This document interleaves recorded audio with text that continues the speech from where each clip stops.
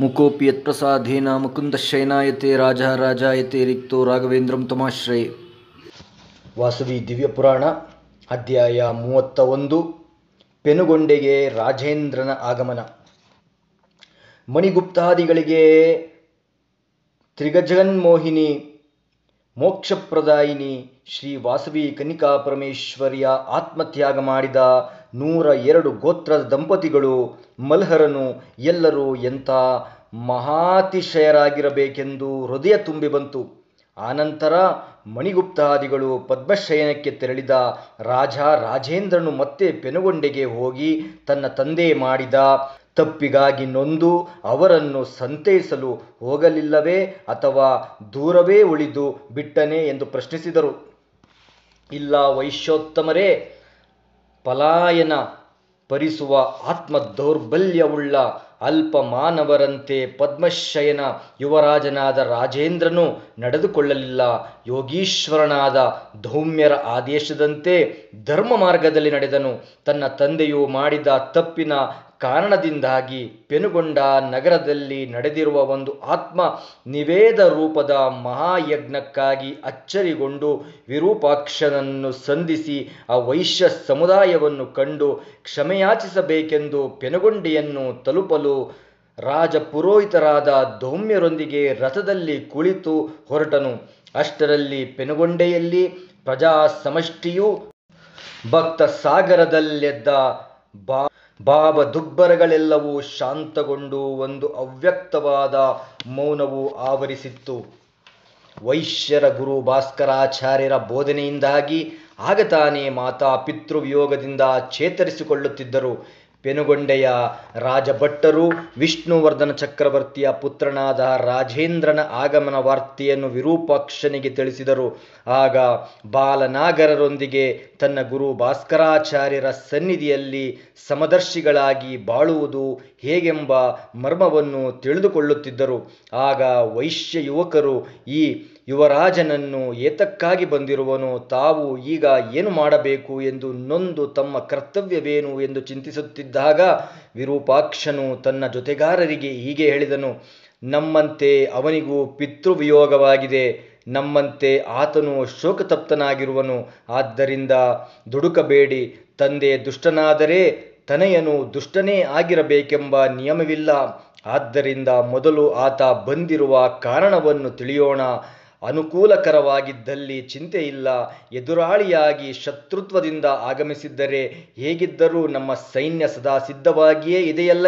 ಉತ್ತರಕ್ಕಾಗಿ ಭಾಸ್ಕರಾಚಾರ್ಯರ ಕಡೆ ನೋಡಿದನು. ಗುರು ಭಾಸ್ಕರಾಚಾರ್ಯರು ವಿರೂಪಾಕ್ಷ ತಂದೆಗೆ ತಕ್ಕ ಮಗನಾಗಿ ವಿಚಾರವಂತನಾಗಿ ನುಡಿದಿರುವೆ. ಆ ರಾಜಕುಮಾರನು ನಿಮ್ಮ ಮಾತಾಪಿತೃಗಳು ಧರ್ಮ ಸಂರಕ್ಷಣಾರ್ಥವಾಗಿ ಅಗ್ನಿಪ್ರವೇಶ ಮಾಡಿರುವ ಅಸಾಮಾನ್ಯ ವ್ಯಕ್ತಿತ್ವವನ್ನು ತಿಳಿದು ಬಹುಶಃ ನಿಮ್ಮಲ್ಲಿ ಕ್ಷಮೆಯನ್ನು ಯಾಚಿಸಲೆಂದು ಬಂದಿರಬಹುದು ಅಥವಾ ಸ್ನೇಹಾಭಿವೃದ್ಧಿಗಾಗಿಯೂ ಆಗಮಿಸಿರಬಹುದು ಅಥವಾ ಒಂದು ವೇಳೆ ದೇವಿಯ ಭಕ್ತಿ ಇಲ್ಲದೆ ಬಂದಿದ್ದರೆ ಅವನು ಕ್ಷೇಮವಾಗಿ ಹಿಂದಿರುಗಲಾರನು. ರಾಜೇಂದ್ರನು ಧೌಮ್ಯರು ಮಂತ್ರಿಗಳು ಮತ್ತು ಇನ್ನಿತರೊಡನೆ ಅರಮನೆಯನ್ನು ಪ್ರವೇಶಿಸಿದರು. ಭಟ್ಟರು ಈ ವಿಷಯವನ್ನು ಬಾಲನಾಗರರಿಗೆ ತಿಳಿಸಿದರು. ಆಗ ವೈಶ್ಯರೆಲ್ಲರೂ ರಾಜೇಂದ್ರನನ್ನು ಅತ್ಯಂತ ಆದರಗಳಿಂದ ಗುರು ಭಾಸ್ಕರಾಚಾರ್ಯರು ತಿಳಿಸಿದಂತೆ ಮಿತ್ರರಾಗಲಿ, ಶತ್ರುಗಳಾಗಲಿ, ಯಾರೇ ಆಗಲಿ ಮನೆಗೆ ಬಂದ ಅತಿಥಿಯನ್ನು ಸತ್ಕರಿಸುವುದು ನಮ್ಮ ಧರ್ಮವೆಂದು ಹೇಳಿದ್ದರು. ಅದರಂತೆಯೇ ರಾಜೇಂದ್ರನಿಗೆ ಸ್ವಾಗತವನ್ನು ಬಯಸಿದರು.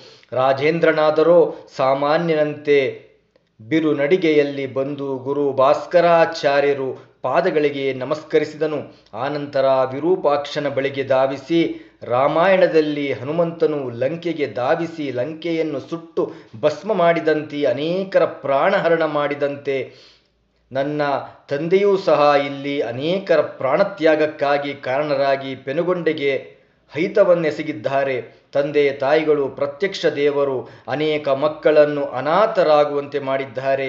ಇದಕ್ಕೆ ಕ್ಷಮೆಯೇ ಇಲ್ಲ. ಆದರೂ ಅವರ ಪರವಾಗಿ ನಾನು ನಿಮ್ಮಲ್ಲಿ ಕ್ಷಮೆ ಯಾಚಿಸುತ್ತಿದ್ದೇನೆ. ಅಂತಹ ರಾಜನು ಜಗನ್ಮಾತೆಯೇ, ಈ ಪೆನುಗೊಂಡಾಧೀಶನ ಕುವರಿಯಾಗಿ ಜನಿಸಿದ್ದಾಳೆಂದು ತಿಳಿಯದಾಯಿತು.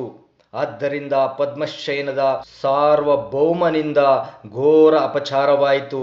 ಇದರಿಂದ ತಮ್ಮ ವೈಶ್ಯಕುಲಕ್ಕೆ ಅಗ್ನಿ ಪರೀಕ್ಷೆಯ ತೊಂದರೆಯೂ ಎದುರಾಯಿತು. ಆ ಅಗ್ನಿ ಪರೀಕ್ಷೆ ನಿಜವಾಗಿಯೂ ಅಗ್ನಿ ಪ್ರವೇಶವೇ ಆಯಿತು. ಇದೆಂಥ ದುರ್ದೈವ. ಈ ವಿಚಾರವನ್ನು ಊಹಿಸಿಕೊಂಡರೇನೆ ಹೃದಯ ತತ್ತರಿಸುತ್ತದೆ ಎಂದು ಅತ್ಯಂತ ದುಃಖದಿಂದ, ದೈನ್ಯದಿಂದ ಅಂಗಲಾಚಿ ಬೇಡಿಕೊಂಡನು. ಆಗ ಸಕಲ ಶಾಸ್ತ್ರ ಪಾರಂಗತನಾದ ವಿರೂಪಾಕ್ಷನು ಸಮಾಧಾನ ಚಿತ್ತದಿಂದ ಬೇಡಿಕೊಂಡನು. ರಾಜಕುಮಾರ, ನಿನ್ನ ತಂದೆಯು ಮಾಡಿದ ತಪ್ಪಿಗೆ ನೀನೇಕೆ ಕ್ಷಮೆಯಾಚಿಸುವೆ? ಇದೆಲ್ಲ ಕೇವಲ ನಿಮಿತ್ತ ಮಾತ್ರ. ತೇನ ವಿನಾ ತೃಣಮಪಿ ನ ಚಲತಿ ಎನ್ನುವಂತೆ ಭಗವಂತನ ಆಜ್ಞೆ ಇಲ್ಲದೆ ಹುಲ್ಲು ಕಡ್ಡಿಯೂ ಚಲಿಸುವುದಿಲ್ಲ. ಏನಾಗಬೇಕು ಅದು ಆಗಿಯೇ ತೀರುವುದು. ಅವರವರ ಕರ್ಮಗಳಿಗೆ ತಕ್ಕಂತೆ ಫಲವು ದೊರೆಯುವುದು. ಇದು ವೈಶ್ಯ ಮಹಾಪುರುಷರ ಸುದೈವದಿಂದ ಕೂಡಿ ಬಂದಿದೆ. ನನ್ನ ತಂದೆಯು ಜನ್ಮ ಜನ್ಮಾಂತರದಲ್ಲಿ ಮಾಡಿದ ದೇವಿ ಉಪಾಸನೆಯ ತಪಸ್ಸಿನ ಬಲದಿಂದ ದೊರೆತ ವರವಾಗಿದೆ. ಹೊರನೋಟಕ್ಕೆ ಘೋರವಾಗಿ ಕಂಡರೂ ಅಹಿಂಸಾಮೂರ್ತಿಯಾಗಿ ಜನಿಸಿದ್ದ ನನ್ನ ಸಹೋದರಿ ವಾಸವಿಯ ಹಿಂಸಾಭಾವವಿಲ್ಲದೆ ನಡೆಯುವುದೇ ಪರಮ ಧರ್ಮವೆಂದು ಸಾರಿದ್ದಾಳೆ. ಆದ್ದರಿಂದ ಖಂಡಿತವಾಗಿಯೂ ನೀನು ಯಾವ ರೀತಿಯಿಂದಲೂ ದುಃಖಿತನಾಗಬೇಡ ಎಂದು ಸಮಾಧಾನಪಡಿಸಿದನು. ಗುರು ಭಾಸ್ಕರಾಚಾರ್ಯರು ವಿರೂಪಾಕ್ಷನ ಗುಣಶ್ರೀಮಂತಿಕೆಯನ್ನು ಕಂಡು ಅತ್ಯಂತ ಹೆಚ್ಚಿನ ಸಂತೋಷಪಟ್ಟರು. ಆಗ ರಾಜೇಂದ್ರನು ವಿರೂಪಾಕ್ಷನ ಮಾತುಗಳಿಂದ ಸಮಾಧಾನ ಹೊಂದಿ, ವಿರೂಪಾಕ್ಷ, ನಿನ್ನ ಉದಾರ ನಡವಳಿಕೆ ಅಮೋಘವಾದದ್ದು. ನಮ್ಮ ತಂದೆಯ ಕಾರಣದಿಂದ ನೀನು ಒಂದೇ ಬಾರಿಗೆ ನಿಮ್ಮ ತಂದೆ, ತಾಯಿ ಹಾಗೂ ಸೋದರಿ ವಾಸವಿಯನ್ನು ಕಳೆದುಕೊಂಡಿರುವೆ. ಆದ್ದರಿಂದ ನಿಮಗಾಗಿರುವ ನಷ್ಟ ತುಂಬಲಾರದಂತಹದ್ದು. ಆದರೂ ಅದೆಷ್ಟು ಸಾವಧಾನದಿಂದ ನನ್ನನ್ನು ಸಮಾಧಾನಪಡಿಸಿರುವೆ. ಎಷ್ಟೊಂದು ಆತ್ಮೀಯತೆಯಿಂದ ವರ್ತಿಸುತ್ತಿರುವೆ. ಇದರಿಂದಲೇ ನಿಮ್ಮ ಸಂಸ್ಕಾರವೆಂತಹದ್ದು ಎಂಬುದು ತಿಳಿಯುತ್ತಿದೆ. ನಿನ್ನ ಹೃದಯ ವೈಶಾಲ್ಯತೆ ಎಷ್ಟೆಂಬುದರ ಅರಿವಾಗುತ್ತದೆ. ನಾನು ನಿಮ್ಮ ಅಂತರಂಗದ ದುಃಖವೇನೆಂದು ಅರಿಯಬಲ್ಲೆ. ಪಿತೃವಿಯೋಗದಿಂದಲೇ ನನಗಾಗಿರುವ ದುಃಖ ಅಸಹನೀಯವಾದದ್ದಾಗಿದೆ. ಅಂತಹುದರಲ್ಲಿ ಮಾತಾ ಪಿತೃಗಳನ್ನು ಹಾಗೂ ಸೋದ ಸಹೋದರಿಯನ್ನು ಕಳೆದುಕೊಂಡು ದುಃಖವು ಏನೆಂದು ಊಹಿಸಿಕೊಂಡರೂ ಸಾಕು, ಹೃದಯ ತಲ್ಲಣಿಸುತ್ತದೆ. ಆದರೂ ನಿನ್ನಂತಹವನು ಸ್ನೇಹ, ಅತ್ಯಗತ್ಯ ಎಂದು ಹೃದಯ ತುಂಬಿ ಮಾತುಗಳನ್ನಾಡುತ್ತಾ ವಿರೂಪಾಕ್ಷನನ್ನು ಬಾಚಿ ತಬ್ಬಿಕೊಂಡನು ಆಗ ಭಾಸ್ಕರಾಚಾರ್ಯರು, ಯುವರಾಜ, ತಪ್ಪುಗಳನ್ನು ಯಾರು ತಾನೇ ಮಾಡುವುದಿಲ್ಲ, ಆದರೆ ಮಾಡಿದ ತಪ್ಪನ್ನು ಕ್ಷಮಿಸುವುದು ಅತ್ಯಂತ ದೊಡ್ಡ ಗುಣ. ಹಿಂದೆ ಇಕ್ವಾಕು ವಂಶದವರಲ್ಲಿ ಈ ಗುಣವಿತ್ತು. ಅಂತಹ ದೊಡ್ಡ ಗುಣವನ್ನು ಇಂದು ವಿರೂಪಾಕ್ಷನಲ್ಲಿ ಕಾಣುತ್ತಿದೆ. ನೀನು ಸಹ ಕ್ಷಮಾರ್ಹನು, ಏಕೆಂದರೆ ಮಾನವ ಮನಸ್ಸು ವಿಕಾಸ ಹೊಂದಿದ್ದರೆ ಮಾತ್ರವೇ ಕ್ಷಮಿಸಲು ಮತ್ತು ಕ್ಷಮೆಯನ್ನು ಯಾಚಿಸಲು ಸಾಧ್ಯ. ಇಂದು ನೀನು ಚಕ್ರಾಧಿಪತಿಯಾದರೂ ಕ್ಷಮೆಯಾಚಿಸು. ಆದ್ದರಿಂದ ನೀನು ಸಹ ಉದಾರ ಹೃದಯೇ ಆಗಿರುವೆ. ದೇವಿ ವಾಸವಿಯ ಕೃಪೆಯೂ ನಿನ್ನ ಮೇಲಿರಲಿ ಎಂದು ಹರಸುತ್ತಾ, ರಾಜೇಂದ್ರ, ಈ ವೈಶ್ಯ ಕುಲೋತ್ತಮರು ತಮ್ಮ ಪಿತೃಗಳಿಗೆ ಪಿಂಡ ಪ್ರದಾನ ಮಾಡಲೆಂದು ಗಯಾಕ್ಷೇತ್ರಕ್ಕೆ ಹೊರಟಿರುವರು. ಆದ್ದರಿಂದ ಅವರು ಹಿಂತಿರುಗಿ ಬರುವವರೆಗೂ ಅವರ ಪರಿವಾರದವರ ರಕ್ಷಣಾ ಭಾರ ನಿನ್ನದು ಎಂದರು. ಗುರುಗಳ ಅಪ್ಪಣೆಯನ್ನು ಶಿರಸಾವಹಿಸುವೆನು ಹೀಗಾದರೂ ನನ್ನಿಂದ ಅವರಿಗೆ ಕಿಂಚಿತ್ ಸೇವೆ ಮಾಡುವಂತಾಗಿ ಸ್ವಲ್ಪವಾದರೂ ಋಣ ತೀರುವಂತಾದರೆ ಅದೇ ನನ್ನ ಭಾಗ್ಯವೆಂದು ಭಾವಿಸುವೆನು. ಅಲ್ಲದೆ ರಾಜಗುರು ದೌಮ್ಯರಿಂದ ವಾಸವಿ ವ್ರತ ದೀಕ್ಷೆಯನ್ನು ಪ್ರಾರಂಭಿಸುವೆನು. ನೀವು ಹಿಂತಿರುಗಿ ಬರುವವರೆಗೂ ಪಾಲಿಸುವೆನು ಎಂದು ನುಡಿದು ಅಲ್ಲಿಂದ ಹೊರಟನು. ಆನಂತರ ವೈಶ್ಯರು ವಿಧಿ ವಿಧಾನದಿಂದ ಹನ್ನೊಂದು ದಿನಗಳು ಪಿತೃ ಕಾರ್ಯಕ್ರಮಗಳನ್ನು ನಡೆಸಿದರು. ಮಾರ್ಗ ಮಧ್ಯದಲ್ಲಿ ಗುರು ಭಾಸ್ಕರಾಚಾರ್ಯರು ಅನೇಕ ಪುಣ್ಯ ಕಥೆಗಳನ್ನು ಹೇಳಿದರು. ಕಥೆಗಳನ್ನು ಕೇಳುತ್ತಾ ಮಾರ್ಗಾಯಾಸ ತಿಳಿಯದಂತೆ ಪ್ರಯಾಗ ಕ್ಷೇತ್ರವನ್ನು ಸೇರಿ ಗಂಗಾ ಯಮುನಾ ಸರಸ್ವತಿಯರ ಸಂಗಮದಲ್ಲಿ ಸ್ನಾನ ಮಾಡಿ, ಆನಂತರ ಗಯಾ ಕ್ಷೇತ್ರದಲ್ಲಿ ಶಾಸ್ತ್ರೋಕ್ತವಾಗಿ ಪಿಂಡಗಳನ್ನರ್ಪಿಸಿ ಪಿತೃದೇವತೆಗಳನ್ನು ಸಂತೃಪ್ತಿಗೊಳಿಸಿದರು. ವೈಶ್ಯ ಸಮುದಾಯ ಮಾತಾ ಪಿತೃಗಳಿಗೆ ಮಾಡಬೇಕಾದ ಸಕಲ ಕಾರ್ಯಗಳನ್ನು ಶಾಸ್ತ್ರೋಕ್ತವಾಗಿ ನೆರವೇರಿಸಿದವೆಂಬ ಸಂತೃಪ್ತಿ ಭಾವನೆಯಿಂದ ಹಾಯಾಗಿ ಮಲಗಿದರು. ಆಗ ಆಕಾಶ ಮಂಡಲದಲ್ಲಿ ನಾಲ್ಕು ದಿಕ್ಕುಗಳಲ್ಲಿಯೂ ಪಿತೃದೇವತೆಗಳು ಪ್ರತ್ಯಕ್ಷರಾಗಿ ಅವರನ್ನು ಆಶೀರ್ವದಿಸಿದರು. ವಾಸವಿಯು ಅಗ್ನಿ ಪ್ರವೇಶದ ಸಮಯದಲ್ಲಿ ತೋರಿದ ವಿಶ್ವರೂಪವನ್ನು ಮನದಲ್ಲೇ ನೆನೆಯುತ್ತಾ ಇಂತಹ ಉತ್ತಮ ಕುಲದಲ್ಲಿ ಜನಿಸಿದ ನಾವೇ ಧನ್ಯರು. ಆ ತಾಯಿಯನ್ನು ಪ್ರತ್ಯಕ್ಷವಾಗಿ ದರ್ಶಿಸಿದ ಸೌಭಾಗ್ಯ ನಮ್ಮದಾಯಿತು. ಆಕೆಯ ಒಡನಾಟ, ಆ ದಿಟ್ಟತನ, ವಾಕ್ಚಾತುರ್ಯ, ಧೀಮಂತಿಕೆ, ಹೀಗೆ ಆಕೆಯ ಗುಣಗಾನಕ್ಕೆ ಎಣೆಯಿಲ್ಲ ಎಂದೆಲ್ಲ ಸ್ಮರಿಸುತ್ತಾ ಮಲಗಿದ್ದರಿಂದ ತಾಯಿ ವಾಸವಿಯು ಅವರ ಕನಸಿನಲ್ಲಿ ಕನಸಿನಲ್ಲಿ ಕಾಣಿಸಿಕೊಂಡು, ಮಹನೀಯರೇ, ನಿಮ್ಮ ಶ್ರದ್ಧಾ ಭಕ್ತಿಗೆ ಮೆಚ್ಚಿರುವೆನು.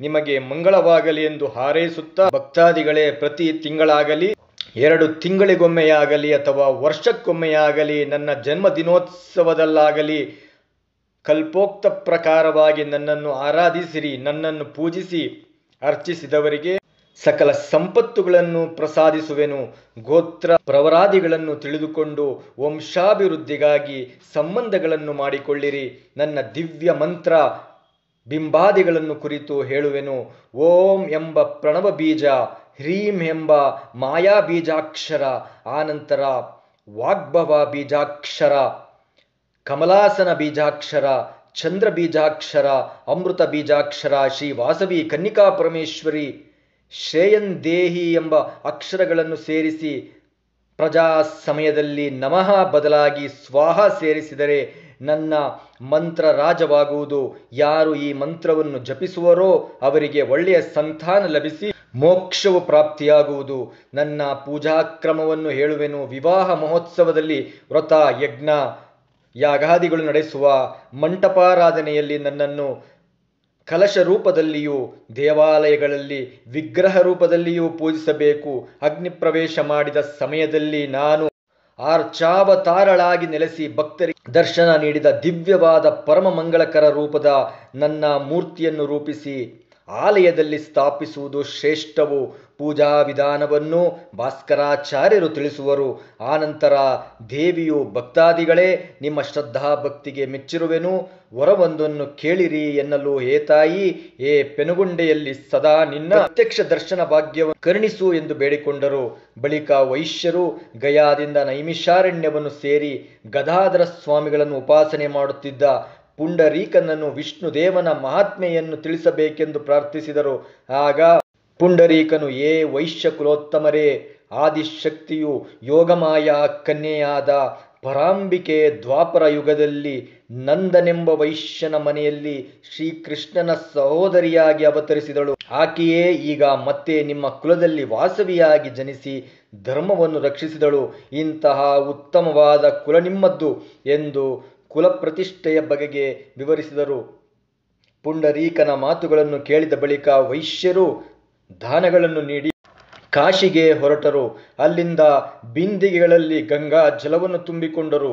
ಬಳಿಕ ತಮ್ಮ ಪಿತೃಗಳಿಗೆ ಮೋಕ್ಷಪ್ರಾಪ್ತಿಯ ಸ್ಮರಣಾರ್ಥವ ಪೆನುಗೊಂಡೆಯಲ್ಲಿ ಲಿಂಗಗಳನ್ನು ಪ್ರತಿಷ್ಠಾಪನೆ ಮಾಡೋಣವೆಂದುಕೊಂಡು ಗುರು ಭಾಸ್ಕರಾಚಾರ್ಯರು ಮಾರ್ಗದರ್ಶನವನ್ನು ಬೇಡಿದರು.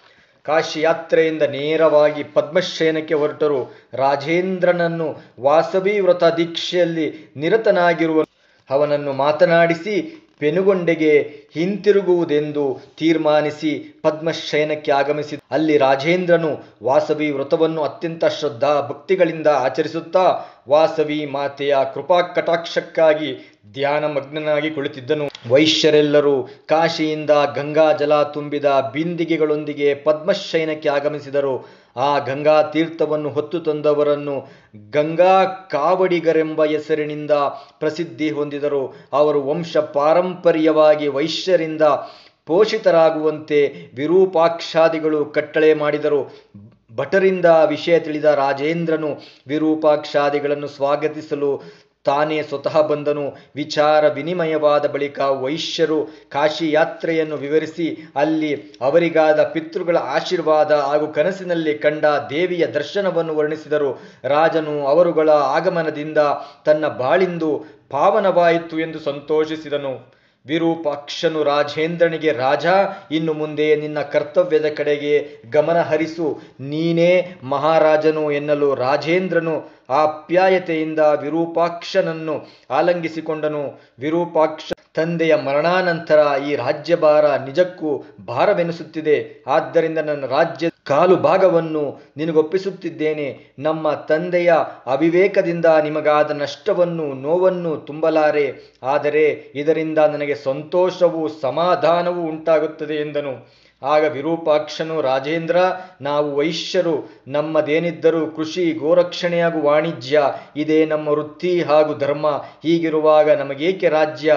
ನಮಗೆಂದಿಗೂ ರಾಜ್ಯದ ಬಗೆಗೆ ಆಸಕ್ತಿ ಇಲ್ಲ ಆದ್ದರಿಂದ ದಯಮಾಡಿ ಎನ್ ಅಂತಹ ಆಲೋಚನೆಯನ್ನು ಮಾಡಬೇಡ ಎಂದನು. ಇಂತಹ ಮಾತುಗಳನ್ನು ಕೇಳಿದ ರಾಜೇಂದ್ರನು ಮನಸ್ಸಿನಲ್ಲಿಯೇ ಎಂತಹ ಉತ್ತಮರು, ಈ ವೈಶ್ಯ ಕುಲಜರು, ಸತ್ಯಸಂಧತೆ, ನೀತಿಪರತೆ, ಉದಾರತೆ, ಧರ್ಮ ಚಿಂತನೆಗಳಿಂದಲೇ ಸದಾ ನಿರತರಾಗಿದ್ದಾರೆ ಎನ್ನುತ್ತಾ ತಾನು ಅವರಂತೆ ಸದ್ಗುಣಿಯಾಗಬೇಕು ಎಂದು ಆದರೂ ತಂದೆಯು ಮಾಡಿದ ಪಾಪದ ಹೊರೆಯನ್ನು ಕಡಿಮೆ ಮಾಡದಿದ್ದರೆ ಸಂತೋಷದಿಂದ ಜೀವಿಸಲಾರೆ ಎಂದು ದುಃಖದಿಂದ ನುಡಿದನು. ಆಗ ಭಾಸ್ಕರಾಚಾರ್ಯರು, ರಾಜಕುಮಾರ, ಏನಾಗಬೇಕೋ? ಅದು ಆಗಿ ಹೋಗಿದೆ ಅದಲ್ಲದೆ ಅವರವರ ಕರ್ಮಗಳಿಗನುಸಾರವಾಗಿ ಅನುಭವಿಸಿಯೂ ಆಗಿದೆ. ಪಶ್ಚಾತ್ತಾಪಕ್ಕಿಂತಲೂ ಪ್ರಾಯಶ್ಚಿತವಿಲ್ಲ. ಆದ್ದರಿಂದ ಇನ್ನು ನೀನು ಅದರ ಬಗ್ಗೆ ಚಿಂತಿಸಬೇಡ. ಇಲ್ಲಿರುವ ವೈಶ್ಯರು ಆಧ್ಯಾತ್ಮಿಕ, ಯೋಗಿಕ ಹಾಗೂ ಧಾರ್ಮಿಕತೆಯನ್ನು ಚೆನ್ನಾಗಿ ಬಲ್ಲವರು. ಆದ್ದರಿಂದ ಅವರೆಲ್ಲರೂ ನಿನ್ನನ್ನು ತಮ್ಮವರಲ್ಲಿ ಒಬ್ಬನೆಂದು ಪರಿಗಣಿಸಿರುವರು. ಆದುದರಿಂದ ಸುಖಿಯಾಗಿ ಯಶಸ್ಸನ್ನು ಒಂದು ಎಂದು ಮನಸಾರೆ ಹಾರೈಸಿದನು. ಗುರು ಭಾಸ್ಕರಾಚಾರ್ಯರ ಇತ ನುಡಿಗಳನ್ನು ಕೇಳಿದ ಆನಂತರ ಅವನ ದುಃಖ ಶಮನಗೊಂಡಿತು. ಆದರೂ ವೆಂಗಿ ಸಾಮ್ರಾಜ್ಯದ ಕಾಲು ಭಾಗವನ್ನು ಜಗನ್ಮಾತೆಯಾದ ಶ್ರೀ ವಾಸವಿ ಕನ್ನಿಕಾ ಪರಮೇಶ್ವರಿ ದೇವಿಯ ದಿವ್ಯ ಪಾದಗಳಲ್ಲಿ ಸಮರ್ಪಿಸುವೆನು ಮತ್ತು ಆ ತಾಯಿಯ ಸೇವಾ ಭಾಗ್ಯವನ್ನು ನನಗೆ ಕೊಡಿ ಎಂದು ಬೇಡಿಕೊಂಡನು. ರಾಜೇಂದ್ರನು ಸಮರ್ಪಿಸಿದ ಕಾಲು ಭಾಗದ ವೆಂಗಿ ಸಾಮ್ರಾಜ್ಯಕ್ಕೆ ಶ್ರೀ ಕನ್ನಿಕಾ ಪರಮೇಶ್ವರಿಯನ್ನೇ ಸಾಮ್ರಾಜ್ಞಿಯಾಗಿ ಪೂಜಿಸಬೇಕು ಎಂದು ದೌಮ್ಯರು ಹಾಗೂ ಭಾಸ್ಕರಾಚಾರ್ಯರು ತೀರ್ಮಾನಿಸಿದರು. ಆ ವಿಶ್ವಮಾತೆಯ ಹೆಸರಿನಲ್ಲಿ ವಿರೂಪಾಕ್ಷನು ರಾಜ್ಯವಾಳಬೇಕೆಂದು ನಿರ್ಧರಿಸಿದರು. ವೈಶ್ಯಕುಲ ಸಮುದಾಯ ಹರ್ಷೋದ್ಗಾರ ಮಾಡಿದರು. ಶ್ರೀ ವಾಸವಿ ಮಾತೆಯ ಸಾಮ್ರಾಜ್ಞೆ ಎಂದು ತಿಳಿದು ಪೆನುಗೊಂಡೆಯ ಜನರು ಅತ್ಯಂತ ಹೆಚ್ಚಿನ ಆನಂದವನ್ನು ಅನುಭವಿಸಿದರು. ವಿರೂಪಾಕ್ಷ ಭಾಸ್ಕರಾಚಾರ್ಯರು, ಗಂಗಾ ಕಾವಡಿಯವರು, ವಿಪ್ರೋತ್ತಮರು ಎಲ್ಲರೂ ಪೆನುಗೊಂಡೆಗೆ ಹೊರಡಲುದ್ಯುಕ್ತರಾದರು ಪದ್ಮಶೈನದ ರಾಜ ರಾಜೇಂದ್ರನು ದೌಮ್ಯರು ಅವನೊಂದಿಗೆ ಪೆನುಗಂಡಿಗೆ ಹೊರಡುವುದೆಂದು ನಿಶ್ಚಯಿಸಿಕೊಂಡರು. ಅಂದು ರಾಜ ವಿಷ್ಣುವರ್ಧನನು ಪೆನುಗಂಡಿಗೆ ಹೊರಟಿದ್ದು ಕೇವಲ ಭೋಗದೃಷ್ಟಿ ಹಾಗೂ ಕಾಮನೆಯಿಂದ. ಇಂದು ಅಂತಹವನ ಮಗನು ಅಲ್ಲಿಗೆ ಹೊರಟಿರುವನು, ಆದರೆ ಕೇವಲ ಯೋಗದೃಷ್ಟಿಯಿಂದ.